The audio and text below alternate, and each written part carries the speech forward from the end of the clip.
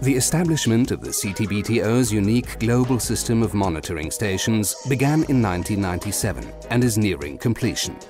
To build the stations, CTBTO specialists had to venture into some of the most remote places in the world. Their job was to set up highly sensitive monitoring instruments and train the local staff to operate and maintain the equipment.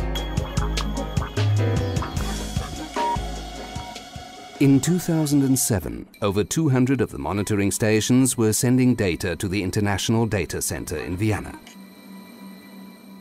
Three waveform technologies, seismic, infrasound and hydroacoustic, provide continuous high-quality data.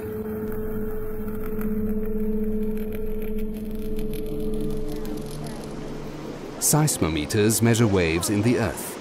Infrasound sensors measure waves in the air that are inaudible to the human ear. And hydrophones measure sound waves in the oceans.